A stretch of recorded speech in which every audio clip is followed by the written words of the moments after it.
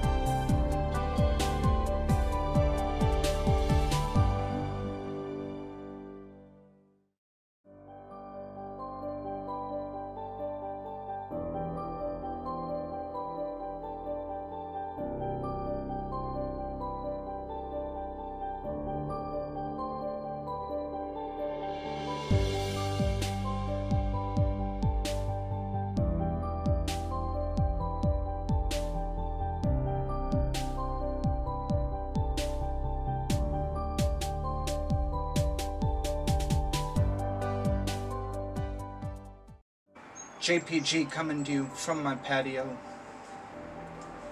That was Elderberry Place. Hope you liked it. Um, very important. Go support those ladies.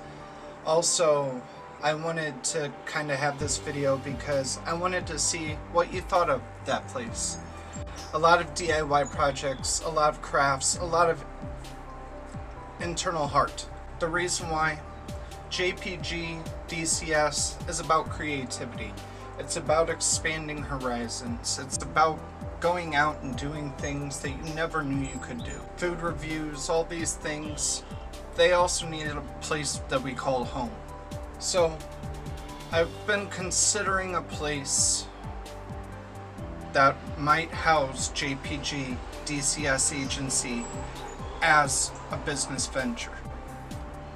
And I've also considered possibly opening up a place that's like Elderberry Place. Not in competition because we're all in this together.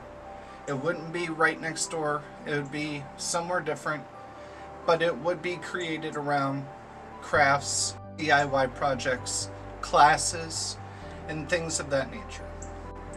My question to you be interested in DIY crafts, DIY classes, or just learning basics of just different things like cooking, different things of crafts, different things of just basic things, but also things of the digital world.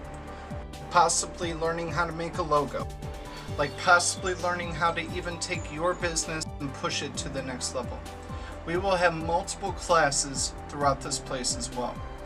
If this is something that you think you might like, put a like or share and we'll see if we can make this business for you. Because in reality, JPG DCS just wants to make your dreams reality. Hope you're having a good weekend. Don't get too much digital content and make sure read a book because sometimes you never know what's on inside it. JPG out.